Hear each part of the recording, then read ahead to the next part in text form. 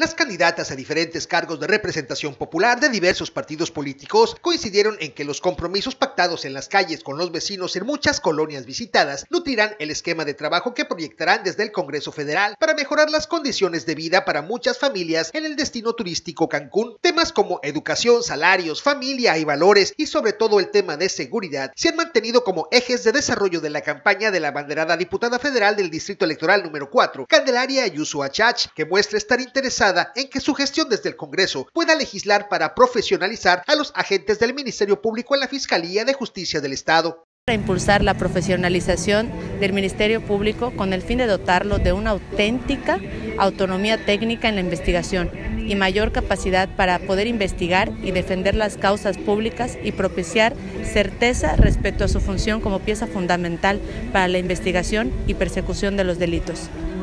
Por su parte, la abanderada al Senado de la coalición Morena Partido del Trabajo, Maribel Villegas, aseguró que la participación ciudadana resulta vital para lograr el éxito en los comicios. Sin embargo, se debe de poner empeño, dijo, en escucharlos para conocer de su voz los problemas que enfrentan, así como las inquietudes que servirán para conformar el plan de trabajo. Lo que estamos abocados es este, en estos poco más de 40 días que nos restan de campaña,